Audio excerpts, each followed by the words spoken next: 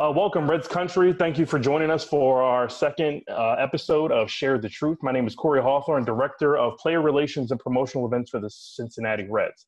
And I want to thank you for joining us for our Share the Truth series.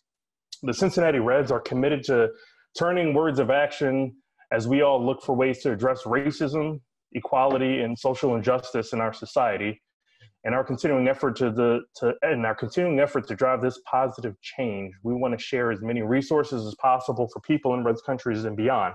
And the Share of the Truth is a great series that is going to do just that. It's going to talk about things that are happening in real time that are affecting our society, and we're going to be very raw, real, and honest about those things, so we can expand our hearts and minds and grow as a country, and for everyone in Reds country. Um, this Share the Truth um, episode is titled Hear What Matters to Garrett Bowman and Biddle. And we've got three awesome guests who are some powerhouse players in our bullpen this season. So, first, let's start. He's a left handed reliever out of the bullpen who was a 2011 Reds draft pick from Victorville, California, who attended St. John's University and actually played basketball there. We've got Amir Garrett. What's up, guys? Also joining us today, we've got another right-handed reliever who's a native of Chevy Chase, Maryland, who attended Princeton and has spent three seasons with the Cardinals before the Reds were lucky enough to have him join the Reds bullpen in 2019. Let's welcome Matt Bowman. Everyone. And then finally, last but not least, he's a left-handed relief pitcher who was the 27th overall pick in the 2010 MLB draft, where he was selected by the Philadelphia Philly, and he's a Philly native himself who spent most of his big league career with the Braves before the Reds were able to snatch him up and add him to the depth of the Reds bullpen for the 2020 season. We've got Jesse Biddle. So, what's going on, everybody? I want to thank you guys for taking time out of your schedule to uh, join us today for the Share the Truth series. Like I said, this is very important for us to talk about things. And like I said, we're going to be very real, raw, and honest. And the three of you guys um, have done some great things and have been very active, even when there was no baseball going on. And we want to talk a, little bit about those things that are going on in the country today. Obviously, we know the the senseless killings of Ahmaud Arbery, Breonna Taylor, and George Floyd has led our nation to have a new open light and awareness to a lot of the things that are going on in this country. And you guys have not been silent in that. And you know as a as a black man i for one want to thank you for not being silent. But you guys being athletes some of the things expect you guys to say people expect you guys to just stick to being baseball players and nothing else. You know amir you're very uh, active on social media and one of the things you says is that it's come to your attention that a lot of people don't value athletes having opinions on anything besides sports. And you're getting a lot of backlash because people just want you to stick to playing baseball and, you know, stay in your lane as far as that's concerned and keep what's going on in the world out of the sport. And they value you as an athlete, but not as a person. How does how does that make you feel? Um you know, it actually it kind of it kind of hurts you know, because there's a lot of people at the ballpark, you know, before the game or after the game, like Amir, mirror, mirror, like you know what I'm saying, like they want autographs and stuff like this, and it's like you you feel good, you know what I mean, to to to feel important to people, but when something like this happens, like those same fans that are there, and they want your autograph, they're like, oh yeah, we don't we don't like you when you when you when you're like this. We like you when you're playing and you're not saying anything about the real world problems and we like you better on the mountain. I mean that's not fair to me which i don't mind but these real world situations it's really happening. And you know i will not i will not you know just because baseball is coming back just because sports coming back in general i will not be quiet. I will not uh, act like there's nothing going on in the world. And you know it's it's kind of tough because you know a lot of people say you know sports is their sense of normalcy or their sense of uh you know getting away from the real world. But guess what? We we can't get away from the real world. We can't. We have to tackle this thing full on. You know what i mean? And, and if we want the world to be a better place this is what needs to happen. Just because sports is coming back this is my platform. This is where all eyes are on me. This is how i can get the message I am trying to send out, you know, by me being on the TV, me having that platform, people see what I have to say or they hear what I have to say. And that's the easiest way to, to, to get out to people. You know, like I say, we if we just change one person at a time, You know, we just we just try to get people to see different spec different things from different perspectives. You know, this country can be a the, the greatest country in the world, which it is, but it can be a it can be way better. You know, it could be a country that you know that we always talk about, and the country that you know that we all love. And you know, I just it just feels like uh, it just it just doesn't sit right with me when um you know people are just saying just just be quiet and, and pitch, you know, and that that actually hurts, you know, and that makes me even think to myself like, man, like this is this is a harsh world, like like people are harsh, people are rude, people are mean, you know, and and that's that's the things I want to change so we can be, you know, better as a country, man, and it's just you know at a time right now you know, we all need to come together. That, that's what this needs to be. You know, no matter what your views are, we all need to come together. You know, we all got to work together, you know, so we can make this country a better place. Absolutely. And speaking of coming together, um, obviously, I think people on social media expect you as a black athlete to, to have a certain, obviously, feeling and view on what's going on as a, as a black man yourself. But you have teammates like Jesse and Matt who are not black athletes but yet have been outspoken about certain things. So matt i want to start with you. What made you feel like that you needed to or wanted to you know be very vocal with everything going on um, in using your platform as an athlete i mean um, i mean just going back to what amir was saying that like you know it, it seems like people are looking at amir and saying okay we love it when you pitch like but we don't look at you you know we don't look at the whole picture we don't see that you're a full you know a fully formed human being with your own opinions and things that you uh, that you want to make sure are brought to people's attention. And at least for me, I look at it and I say it's difficult for me to fully understand what Amir is going through um, because I it's not my lived experience. But I know Amir and I trust Amir, and we've had these conversations and you know, I'm going to get behind Amir and I'm going to support him in what he's doing just because I trust him as a human being. Um, and so you know it's it's difficult to watch all your black teammates sort of when these things go on and everyone turns to them being like what do you got like lead like you know this is on you and i think about what my experience is and i get to just go play baseball. Nobody turns to me and goes you know what do you think about this you know these social justice issues?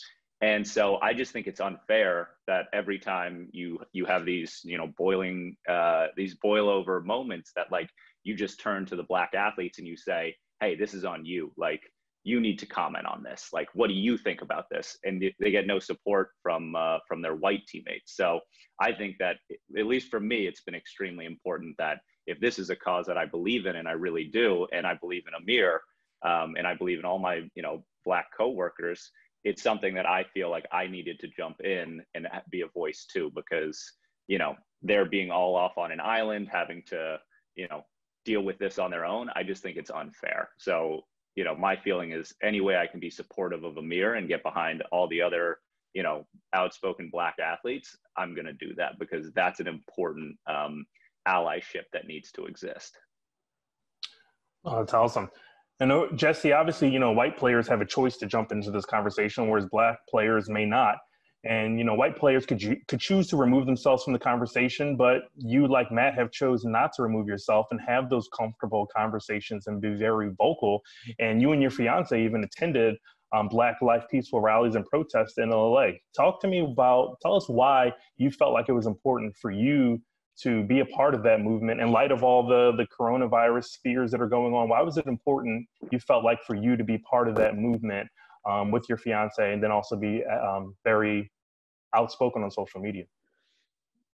Um, yeah yeah i mean that's a great question. Um, you know i think that the the first thing that jumps out at me and this is the question i've asked myself a lot is this isn't the first senseless killing that we've seen on tape right? Like these aren't the first ones that have been um, made public knowledge, and yet it seems to be the time that um, we're jumping to action the most. And I, I think a part of that was just being in being in quarantine and having the time and energy to give to this that it properly needed. Um, and so, you know, it was really important to my fiance and I um, to to take part in this in the best way that we can. Uh, but really, it comes back to what Amir said, which is I wouldn't be any better than the fans that are asking Amir for his autograph, but not supporting his ideals um, and not supporting him as a person. If I was buddy buddy with Amir in the clubhouse, but I'm not supporting, you know, his struggle through life and, and everything that, you know, he has to go through as well as, um, you know, other black men and women. And so, you know, I just, I've had a lot of black teammates. I have a lot of black friends. And I think that I just, I, I no longer wanted to just be somebody who was just happy to not be racist, right? I wanted to stand up for something and truly be anti-racist and really like do the research and learn and try to grow as a person and and the best way that I I mean in any way I could really. You know, for for you two guys, a lot of people may ask you guys, you know, a lot of the things that were affecting the black community have been happening and going on for a long time. So a lot of people may look at some of um, individuals who are supporting the cause and say, why now? You know, we talked about obviously people being quarantined with um, the COVID, you know, virus going on. Do you think that that's the reason why, or you know, what do you think the reason is that everyone is coming together now after the George Floyd death, knowing that there were the, you know, Breonna Taylors and so many other senseless killings? Why now for you guys? Um, I, I, I feel like what Jesse said, being in quarantine, uh, you know, that really shed a light on, you know, the George Floyd case. And, you know, the, there were previous instances that happened, but there were so much things going on in the world. I felt like those got pushed to the side. You know, there were sports going on, whatever was on TV. But in quarantine, like you didn't have, you didn't have sports. You know, you didn't have stuff to distract you from what was going on in the outside world. You didn't have you know, for a period of time, a lot of people didn't have, they weren't, they weren't working. You know what I mean? So all they were doing is sitting in quarantine at home and you click TV on and there it is, George Floyd, you know, killed by a police officer. And I feel like this, this, this hit different for everybody because it finally brought it to light. Like this happens in a, in, in the black community over and over and over and over again. And you know, for somebody like me, like this ain't this ain't the first time. You know, I, I knew about the other ones, and it's like you know, just just bringing the light in in with COVID and all that. That's all you had to do was just like really turn on TV and and and watch this stuff, watch what was happening, and you know, I just felt like there was a lot of distractions. That's why the other ones weren't weren't brought to light. And, you know, just you know, just with COVID hitting, that's all you had to do was turn on the TV and, and see for yourself. Yeah, I, I think just to piggyback off of that, right? Like this narrative of 2020 being like the worst year in, in history or whatever, to me, it's like, it seems like a year that we all needed, right? Like because of the political climate as well as just like the the direction that our country is heading. I think that this is a reset and has given us a chance to really find some perspective and realign our values and hopefully bring us all together in a way that can better everybody. You know, when everything was going on, at the height of everyone being very vocal on social media, I know Jesse that you know you wanted the conversation and dialogue to continue. When you saw the momentum on social media uh, dying down, it really sparked the idea that you and Matt came up with the fundraising efforts to keep that momentum going. And you guys ended up raising know, over nine thousand dollars after matching to some some great causes, including the NAACP, Black Lives Matter Foundation, and Southern Poverty Law Center, just to name a few. You know, knowing that you guys wanted to do that to keep that momentum going, what do you think?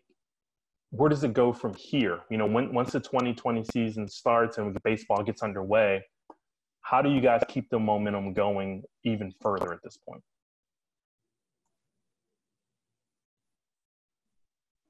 So, I'll, I'll you know I'll answer that first. Um, it's definitely a tough question because with sports coming back now, I feel like we have to push the conversations uh, a little bit more because you know the, the distractions are coming back. If they come back, then all this will be swept under the rug, which we do not want to happen. We do not want to happen. So you know, keeping those conversations alive and just, you know, what we speak and what we want to see in the world, you know, we have to put that out there.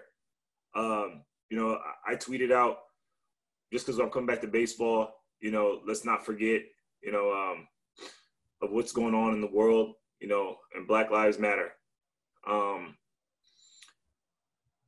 so we have to continue to push the narrative of equality. Um, and I feel like, you know, with our platform, we're able to do that, you know, and even if it's just, you know, a simple gesture, you know, every time somebody turns on the TV, somebody, you know, sees me go out there and pitch, I have a little message or something on my hat.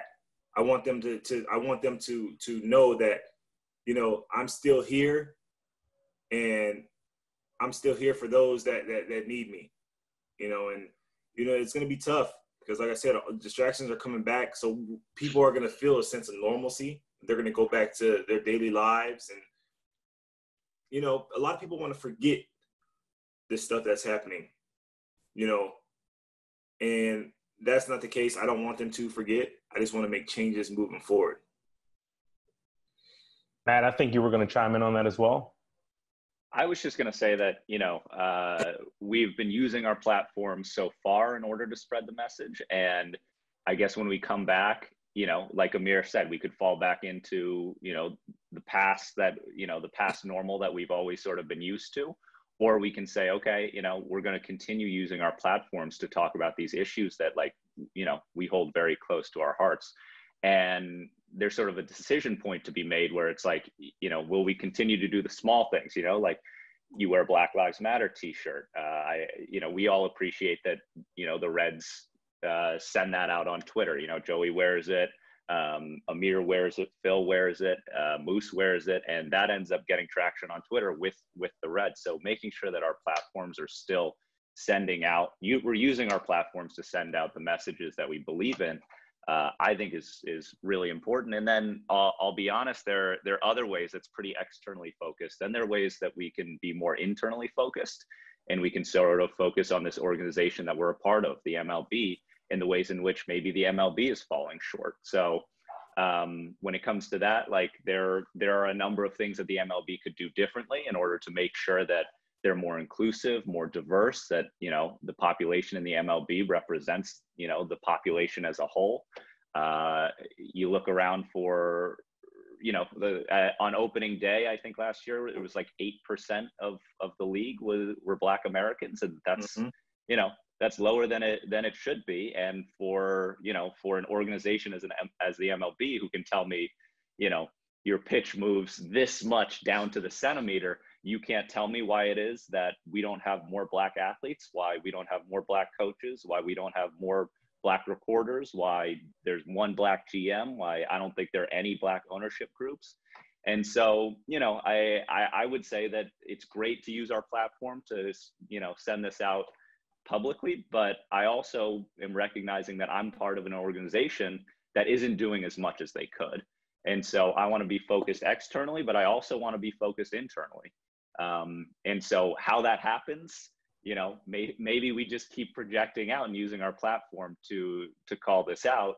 But perhaps maybe there are other ways that we can work internally uh, to talk to the league um, and see, hey, why is it that you can't get more than an eight percent participation rate from Black Americans? Why is it that the MLB has like the lowest professional sport participation rate from from Black people? Like these are huge issues and you know just having a statement on it and you know just coming out and saying we stand with black lives matter is a start but there has to be real action after that. And so you know at the very least we can question our organization and say all right what else is happening? What what are you doing? What can we help to do in order to make sure that this sport reflects you know the america that i see that is inclusive and diverse?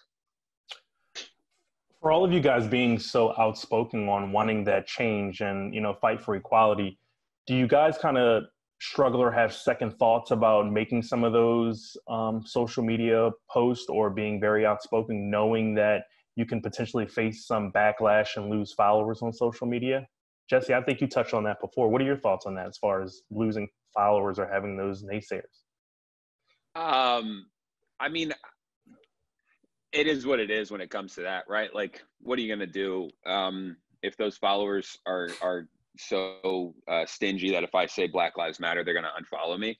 Um, I didn't really want them to begin with, but you know, more than more like if we're going to grow, there's going to be, um, you're going to have to be uncomfortable, right? And you're going to have to say things that go against the grain a little bit. And um, I just think that this is all moving in the right direction. That's what it feels like. And you know, to to piggyback on what Matt said, like a lot of it comes uh, for me at least it, it's it's internal right? And I, I feel like every day i'm trying to learn and trying to grow and trying to um, educate myself as much as possible because at the, like we have so much information at our fingertips and to not be educating yourself is a ch- choice. And um, that choice unfortunately it, it, you just can't make it anymore. You know as, as far as you know being silent amir how do you how does it make you feel if you have guys in the clubhouse that may be unlike jesse and matt who may have been remaining silent or not using a social media platform during a time like this? Does that hurt you a little bit or? Um at first it, it did hurt me. It did. But i also had to realize not everybody copes with what we're going through in the same way. You know it's okay. There's there's I know there's numerous amount of teammates that are they're silent, but they're doing what they can. You know, they're they're they're learning, they're teaching themselves, and then whenever they're ready, they venture out to me and like ask me questions like, yeah, I, I didn't think like, you know, this was a topic I should talk on, but you know, I had to educate myself a little bit. Like, what's the next step? You know what I'm saying? They're just venturing out their bubble a little bit, and that that that's that's completely fine because, you know, for a while there, I was I was in that bubble as well. You know, from Colin Kaepernick Nian to Bruce Maxwell Nian, like I wanted to help those guys. I wanted to support those guys, but I couldn't support them because I didn't feel and I didn't feel that I was in a position that I could because I would fear for my job. Mm-hmm.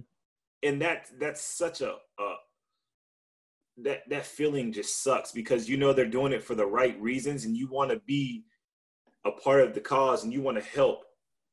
But i just couldn't. And that's how i feel like uh, some of my teammates that don't speak out publicly or whatever it's fine. You know they'll come around you know when they feel it in their heart. You know what i mean? When they feel it in their heart they'll come around. And uh, you know I, I tell my teammates every single day you know when i put a, a black lives matter t-shirt on to go out to the field and they ask me like do you want me to wear one? Like whatever. I'm like no you don't have to wear one if you don't want to. Just wear it wear it for you. Wear it if you want to wear it don't wear it because I think that you that I think that you should wear it. That's not that's not what I want to do. Um, you know, because I know all of my teammates are good people. Uh, I know they love me to death, and I love them to death. And it's just, you know, I don't I don't I don't get upset about stuff like that because you know I was the same way with with different um with different circumstances. You know, I really didn't venture out, and then all of a sudden I did because I felt it in my heart. I felt it was the right thing to do, and I felt comfortable comfortable enough to do it and to talk on these on these uh, about these problems. So, you know, whenever they come around, you know, that's fine. If they don't come around, that's fine too. You know, I mean, I'm not I'm not going to judge them off anything. You know, and uh, I am appreciative of Jesse and, and, and Bowman for sure. You know, because from the start they were, I, they did it on their own. You know what I mean? So I, I don't want to pressure anybody to doing anything they don't want to do. Knowing that you now have great allies in your clubhouse like Jesse and Matt to, to really help the cause, do you feel like now you can really be outspoken and say what you want to say and not be able, not feel like you have to shy away from those things and fear of losing your job now? Yeah, man, it's it's, it's tough. Like like Matt said, there was eight percent of uh, black athletes in the MLB. That's that's so I think I believe that's like 50 something people. You know what I mean? And it was I didn't we really didn't have a voice. We didn't have any power. You know, and for my teammates to get around me and support me on this, that just shows a lot, man. Like it, it just made me more comfortable and it made me, you know, think about like, you know, I'm ready for the consequences. Even though I don't I don't think there will be, any, you know, for me being outspoken and talking about the real world issues, but it's definitely making me it makes me comfortable that you know I have teammates like these guys and you know like Joey and stuff like that, and it, it helps me be who I am. You know, it just helps me. It just it just, you just feel so much support from your from your teammates, and it's just it's an awesome feeling. You know, because Matt said, you know, it's a black athlete, it did feel like I was on an island by myself. When something like this happened, I did feel like I was alone you know, because I couldn't talk to any of my teammates about certain situations because they didn't really understand. They didn't really understand how I felt about this and how I deeply felt about it. You know, because it, it it affects my community. Um, and even if it didn't directly affect me, it affected those around me. You know, and how people looked at me. So, you know, by them stepping up, you know, it definitely made me so much more comfortable. So much more comfortable.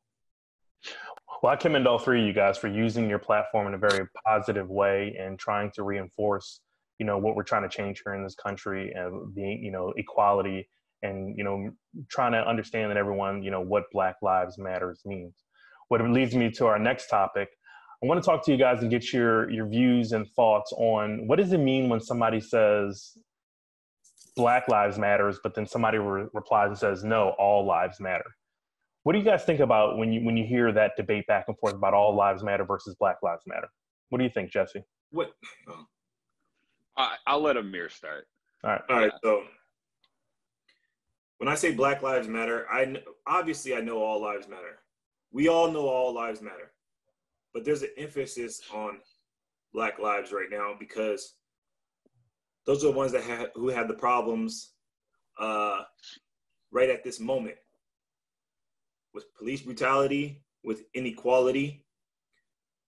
And my whole thing is if all lives matter, then the all lives matter people should be is equally upset about what happened to George Floyd.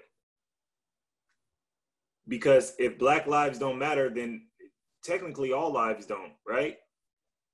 So, and I feel like when people say all lives matter, I can tell the people that say all lives matter, I can I can tell the ones that are just trying to justify themselves as not being racist.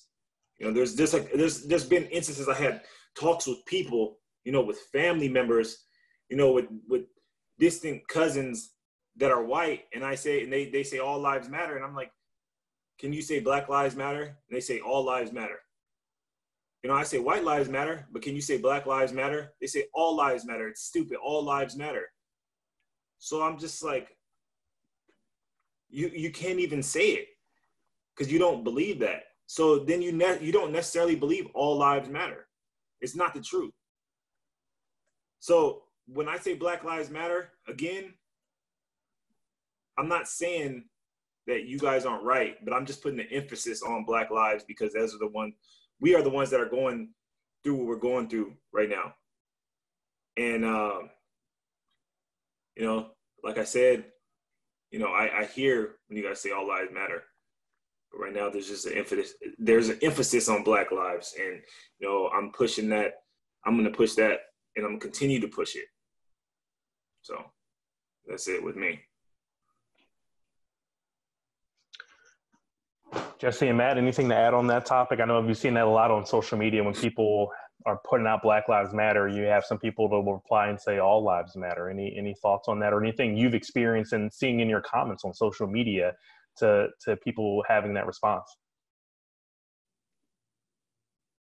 I would say that you know there there are a couple ways to look at people who respond with all lives matter. Like a generous way would be saying that you know they are actually looking for equality and perhaps you know uh, they you know they want they want to make sure that like everyone is included. I, I remember ironically underneath i think our other interview that we did someone said what about like asian lives and like latino lives? And it's like absolutely um i'm actually you know asian american and i certainly know that i am not facing anywhere near what amir and my you know my other black teammates are facing so I'm not so, you know, it rings as disingenuous uh, if you're saying all lives matter. But what I honestly, what I really hear when I hear all lives matter is that, you know, when I when we say Black Lives Matter, what we're saying is Black Lives Matter too.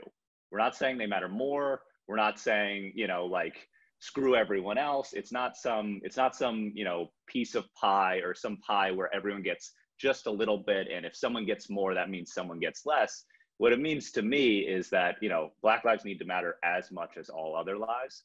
And anyone when I sort of what I hear when I hear uh, all lives matter is you want to keep the status quo. You want to you said you're saying to me like the way things have existed where we value life generally that works for me and i don't want to see some big change to like the way we think about um, how we're valuing lives and you know i think that you know over time systemically black lives have been undervalued.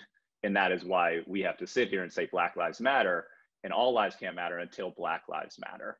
Um, and so sort of that's that's what i think of when i hear when i hear all lives matter. I, I just I, I think you know there's room for us to expand our empathy and our sympathy for everyone. And it isn't some zero sum game where, okay, if I say Black Lives Matter, that means that you know white people matter less or anything like that it's like let's let's expand our thinking and let's expand our ability to empathize and understand other people's situations so that it's not some zero sum game like we have room for all black lives to matter um, and then you know and then we can say great like all lives matter once black lives matter as much Awesome. You know, I, I, I, agree with everything that Matt said. You know, sometimes these when we, we do stuff like this, sometimes the the what I want to say really doesn't come out, you know, all that well. Matt said it perfectly. Um, and also, when you say Black Lives Matter, and then you know, I get a lot of feedback to a lot of people say All Lives Matter. I'm not looking to debate with anybody. I'm really not looking to debate with anybody. And I feel like a lot of people say that because they want to get a reaction. They want to see how I react. But maybe that's just that's just me. But you know, like Matt says, all lives can't matter until Black Lives Matter. Not saying that Black lives should be superior in any way, shape, or form. But you know, it's just right now. You know, I, I know everybody's seen the the like the examples of stuff of the houses and stuff like that and it's right now. This is what we what we gotta who we gotta help out right now, you know. And you know, I'm I'm gonna continue to say Black Lives Matter, knowing that all lives matter as well. Yeah, I, I mean, I think that when I see somebody say all lives matter, a lot of the times it it just feels like they've been given some bad information or they're willingly ignoring some of the, the the numbers are all out there right like all of this information is there for you to see it's clear as day that black lives especially in lower income neighborhoods have not mattered as much for our nation's history and so that be, that became like a norm and so for you to challenge the the idea that black lives matter is to challenge what has been the conventional wisdom for a long time and something that we haven't acknowledged for hundreds of years. So I, I just think it's all about getting good information and you know it's all right there for you you know? Oh, absolutely. Amir that's interesting you brought that up. I had a, a, conversation with one of my life friends and i tried to explain it to them using that house metaphor saying you know yeah. if you're in a neighborhood and the house is on fire are you going to say all houses matter or focus your efforts on the burning house? And trying to explain it people say black lives matter not because they don't think that all lives matter, but because it's pretty clear that a significant portion of African American, a, significant portion of American population don't think that Black lives matter, and yes. Black people represent the burning house in the neighborhood, and we need the help of everyone. Um, guys like Matt and guys like Jesse to focus their efforts on putting that fire out which the fire represents the racism, the social injustice, and inequality in America for Black people. And for anyone who can't say Black Lives Matter, I say to them, you know, don't be mad you don't have a movement. Be happy that you don't need one. You know, that's the yeah. biggest thing. And that's that's the biggest thing for me too, Corey. Like, for us to sit here and have to say like Black Lives Matter, like that that that sucks because it's like we're all people. Like, yeah, just be happy you don't need one exactly what you just said. Be happy. Be happy. You don't need to say, you know, my race matters, white matters, Latino matters, or you know, because it just sucks, man. It just sucks. You know, we're living in a time right now. It's just it's it's horrible. You know, for us to even have to say Black Lives Matter, it's it's it's terrible. Yeah, like Jesse said earlier, 2020 is a very unique year with a lot of crazy things going on. And as we're, you know, quote unquote, adjusting to the new norm, um, things are changing and sports are trying to restart once again. And with the restarting of some sports, we've already seen some pretty, you know, great stance and outspoken sh- signs and efforts on try to bring awareness to all the injustices that we're facing in America. And one of the ones that come to mind immediately um, is, is, NASCAR. You know, you know, what are your what are your guys' thoughts on NASCAR banning the the Confederate flag from their sports, and what do you think other professional sports leagues um, are, and what other sports teams are doing as they return? I think you know that's a that's a step in the right direction. Mm-hmm. Uh, them banning the Confederate flag, um, because that that was the history that we're used to. Like when I talk to my friends and you're like, yeah, I want to go to a NASCAR race. They're like, why do you want to go see that white man sport? Stereotype white man sport. It shouldn't be labeled as that. Just it's just a sport. It's just NASCAR. You know, and it's so crazy to me because when I see that Confederate flag, it means something different for me. Like when I I'm I'm from the West Coast, so we I don't really see you know those those flags you know flying around too mm-hmm. much it's it's somebody opposed to the to the south like phil like you know he probably sees those flags all the time but like i remember growing up and like like like if my dad would be like oh yeah if that's on somebody's car like son like don't don't even go over there. You know what i'm saying? Like don't even don't even mess with them because they don't like you. And i feel like nascar by them doing that it's showing that you know, they're not blind to what's happening in the world anymore. I mean, you know, they they they've seen, they've heard the people, and they're taking the, the necessary steps to to move forward. You know, to not support um to not support these injustices and I can tell they want equality because the way that you know the whole NASCAR the NASCAR family is getting behind uh, Bubba, mm-hmm. it's it's just it's an amazing feeling. It's it, probably for him it's amazing feeling because I, I think he's the only black person in NASCAR.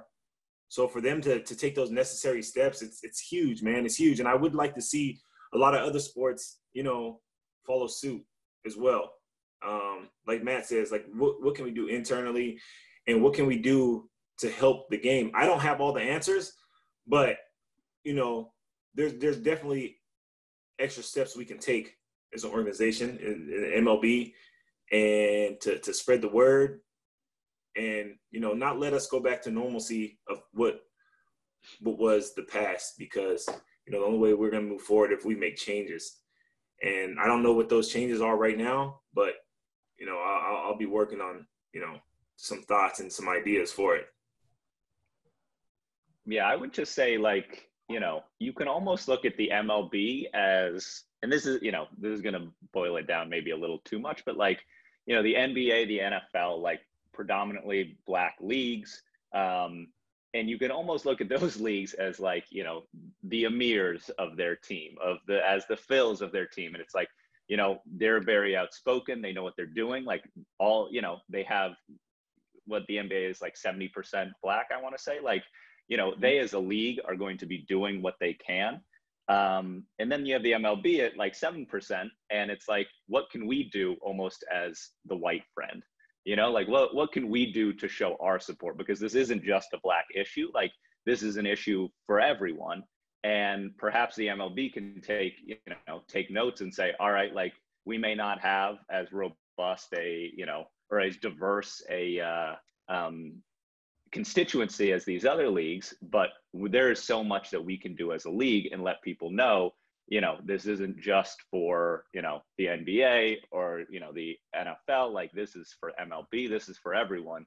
And we need to step up as well. And the fact that NASCAR is doing it sort of shows, you know, you know, we they're supporting Bubba Wallace, and I think that the MLB should be doing similar things. And like Amir, I don't I don't have the answers. I'm not sure I'm not sure what, we can be doing as players, but certainly I have some ideas as an or for us as an organization what can be done better. Um, and I guess like now might be a decent time to say it just because, you know, we're using our platforms, but like, you know, we have MLB has one black manager, I think, Dusty Baker. That's and that's it. And so if you want to make these uh, arguments about okay, like you need enough black players in order to get MLB players, like okay, that that'll take a while. I can understand, but like these positions get hired, and it's everyone's choice. Like one black manager, that's it. Like that's all we we can come up with. One black GM, that's all we can come up with you know, White Sox one one black VP uh, of of baseball ops, and that's that's all we've got. Like I know we have the Selig rule, which is like you have to interview one black candidate for every upper level position, but it's like that is an outdated rule. Like we can do better than that. Um, so I just, you know, again, I'm looking at the MLB and I'm like, we can do more, and I hope that we're going to do more because you know when NASCAR is doing more than we are at the moment, which I honestly kind of think that they might be, it's it's just not enough. I, I understand that we are promoting Black Lives Matter. I understand that you know the commissioner gave a statement before the draft on Black Lives Matter. I understand that we you know we're a little tardy to giving a statement on George Floyd's death, but we ended up giving one. But again, I really, really would love to see us take some concrete steps toward uh, toward being more inclusive. And and there are such it just it feels like there's so much low hanging fruit that we could do and that we're not doing yet and it's just sort of been an issue where we might have just checked the box and you said we made our statement and it's just like we got time right now like please please let's let's start doing some things and let's start showing our support and you know I, it, it's i'm not going to call it disappointing but I, I i'm looking and i'm and i want there to be more for this sport and that goes what matt said equality, equal opportunity. You know, no matter what, no matter what race you are, if you know, I seen I seen Cam Newton say something the other day. Yesterday, was watching a video. He says, no matter what race you are, equal opportunity. If you're good at that position, you need to get that position, right? Regardless of color. And everybody, they just need the the exact opportunity as other races, you know. And that's just the world we live in these days. This, this it is what it is. And you know, like Matt said, like you don't want to call it disappointing, but there is much more the MLB can do. I feel like you know I was pretty upset about the you know the statement got out late, and I'm thinking to myself, why why this happened a week and a half ago? Why are we just now coming out with a statement? Like, come on now, like we can do better. We can definitely do better. You know, so, but I also feel like you know MLB having such you know, small amount of black players, they don't want to overstep any boundaries.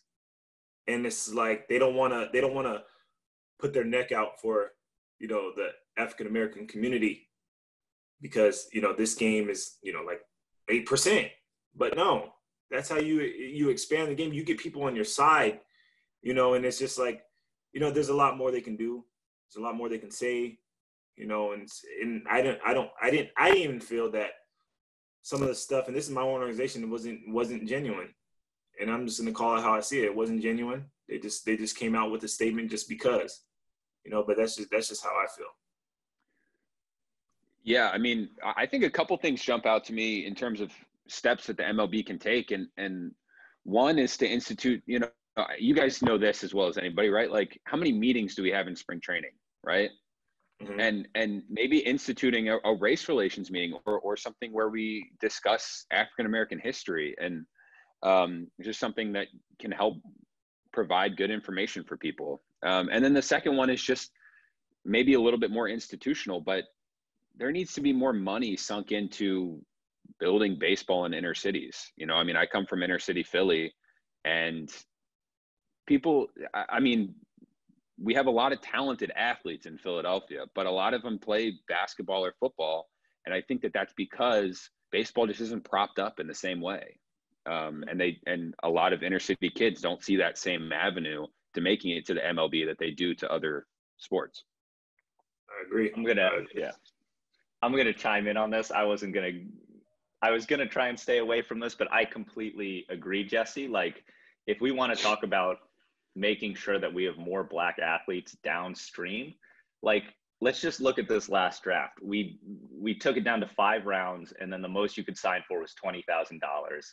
And then when you get into the minor leagues, you're making less than fifteen thousand dollars a year. Like they're not going to be inner city kids and people who are who are like socioeconomically challenged that are going to say, yeah, this is the path for me. Like this makes sense. Baseball is an expensive sport. Like I am privileged. Like I know how many lessons I paid for. I know that I was on a travel team. Like, you know, even in getting drafted, I was like, I'm going to take a risk because like I know that I have a safety net underneath me. Like I, I look at guys like myself, even Gerrit Cole, who gets drafted out of high school, and he turned down four million dollars. Like that's that comes from a place of privilege, and you're going to get a certain type of player when you are just you know feeding into all right you have to be you know you have to be able to play this expensive sport. You have to be able to train yourself.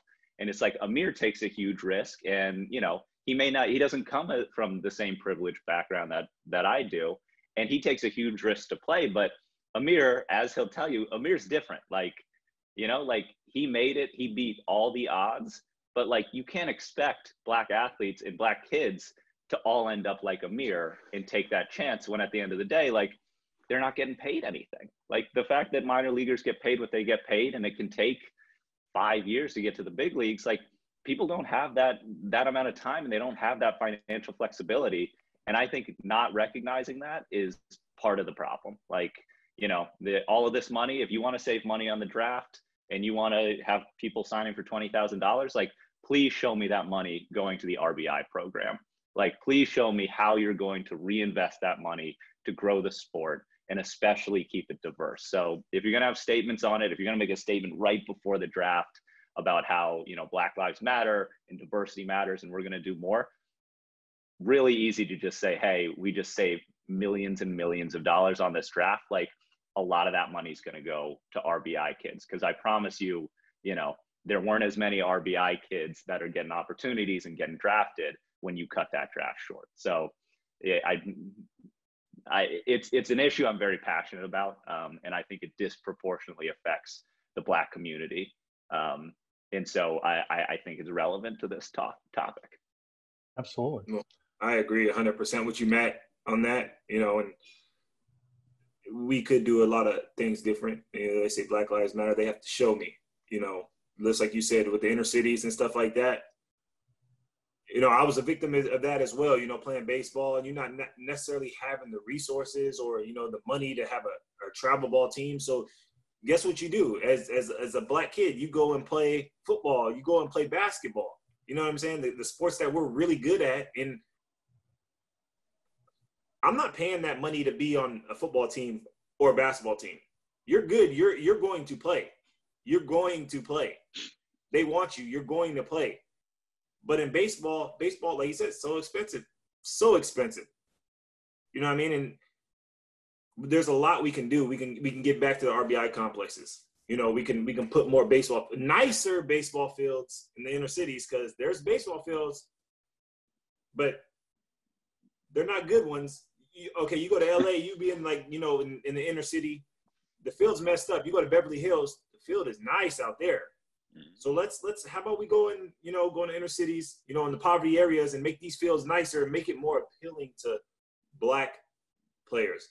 Because if you make it more appealing to them, they're gonna love this game. You know, they're gonna love this game. This game is such a beautiful game to play. You know, a lot of kids don't they don't like playing it because they don't have the resources. It's too expensive. You know, you see the, the, the field on the corner, it's terrible, it's trash. They don't care. So, you know, that's that's just ways that we can help. We can put the money back into the inner city uh, fields and, and stuff like that. And, and let's make baseball for everybody less expensive. yeah, the, the RBI programs have major league teams attached to them. They should be elite, you know? Like they should be people should be lining up to play for them. And I know in Philly, like they weren't really taken seriously, you know? There just wasn't, you know, I, I don't know. It does bother me. It always has. I think you guys are definitely speaking. There, the system is definitely flaws on many avenues. Is one of the things you know. I'm very fortunate and proud to be part of the Reds organization because I do know that our team owner Bob Castellini, he is very much committed to making sure that baseball continues in the game for all people in the city of Cincinnati, all across the city. You know, every year the, the Reds, you know, they partner with the P&G and do field makeovers, and they're constantly renovating fields, not only in the suburbs but in the major city And they've got match programs. So we're very fortunate, despite the fact that we're one of the smaller market teams. The attention that our ownership group puts to those programs that you guys are speaking of are great. And I know Matt and Amir, you guys have both been out to the academy before, and want to continue to invite you guys back out there because it is important for those young players to hear and see you guys to continue that pipeline to make sure that we continually have um, diversity in our sport. And I think we're doing a great job as an organization. And I wish I, I would I would challenge other organizations to model what we're doing because while we, while we can't fix the system overall, what the league is doing, I think we can at least worry about what we're doing here at home in Cincinnati. And I think we're doing a great job. And with guys like you who are being very open and honest and continuing to champion and inspire change, I think we are definitely on the right path. And that's part of the reason why the Reds are committed to, you know, putting those words into action and, and trying to find ways to address racism, equality, and social justice like this platform here of uh, Share the Truth.